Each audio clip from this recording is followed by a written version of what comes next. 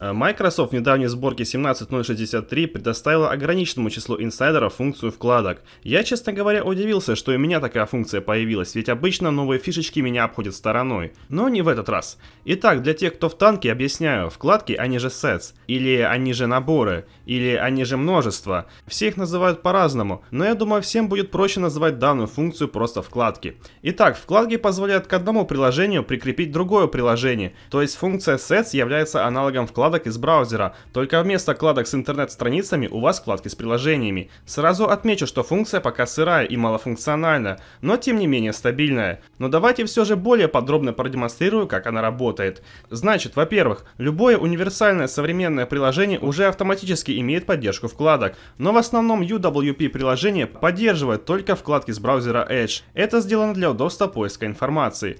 Но также есть приложения, которые позволяют прикрепить и другие приложения. К примеру, это магазин Microsoft Store. Если вы через магазин запустите какую-нибудь установленную программу или игру, то она автоматически станет вкладкой магазина, что выглядит слегка странно, но довольно круто. Если мы зажмем левой кнопкой мыши вкладку и потащим ее вниз или в сторону, то произойдет открепление вкладки, но назад, к сожалению, закрепить ее уже не удастся. Пробовал и Ctrl и Alt зажимать бесполезно. В будущем, естественно, появится функция прикрепления вкладок вкладок, но пока ее нет. Как и нет поддержки Win32 приложений и того же проводника. В целом довольно полезная и удобная функция, в отличие от того же Timeline. И да, если вы нашли что-то новенькое, то обязательно об этом напишите в комментариях.